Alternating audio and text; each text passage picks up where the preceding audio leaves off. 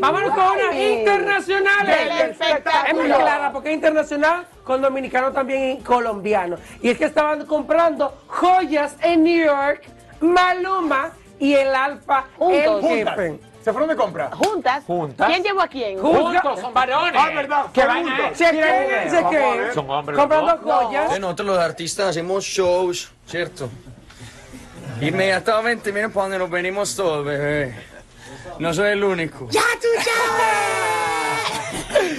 Está el Rososki. Rososki. Papi.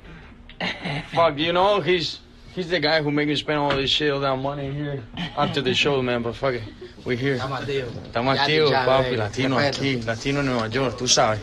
Maluma, baby. ¿Qué? Yo me imagino, espero que hayan ido a Joyería Elizabeth a comprar su joya, ya que, No, no que fue se en Elizabeth. ahí. No fue en Elizabeth, fue en otro lugar que van muchos artistas, como también en Elizabeth. Pero en este caso, allí en esa joyería, Mozart La Para, otros grandes como Jay-Z, compran sus joyas, sabes sus increíble? prendas en esa ¿Sabes qué es lo joyería. increíble? ¿Qué es en increíble? En Colombia, de donde es oriundo Maluma, Eh. el oro es sumamente barato y mejor.